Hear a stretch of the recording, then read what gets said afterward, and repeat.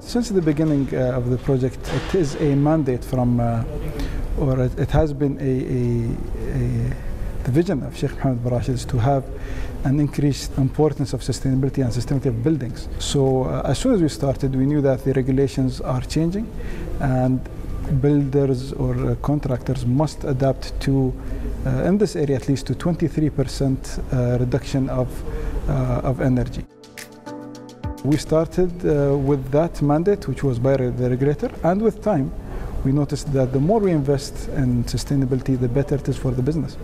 So even though the the threshold is 23%, we invested almost uh, 500,000 to get it to around 40% energy saving. The process started in 2017, starting from the cooling system, the ACs, the type of windows, the lighting, the LED lighting. If you notice now, most of the lights here are LED, which are very, very efficient.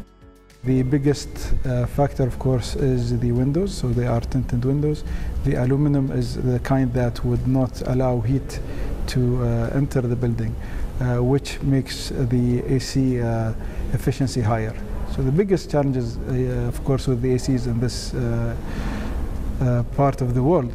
So making sure that the AC works and is efficient is, is the main factor.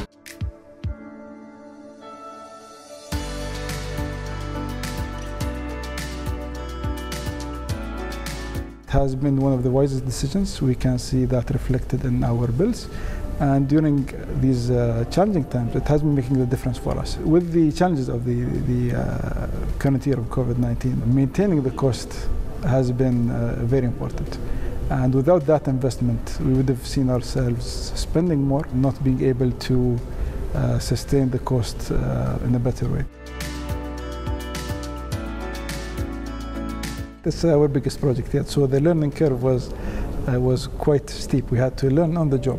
But as soon as we saw that investing in sustainability would benefit the business, we did not hesitate. And we went beyond the regulation.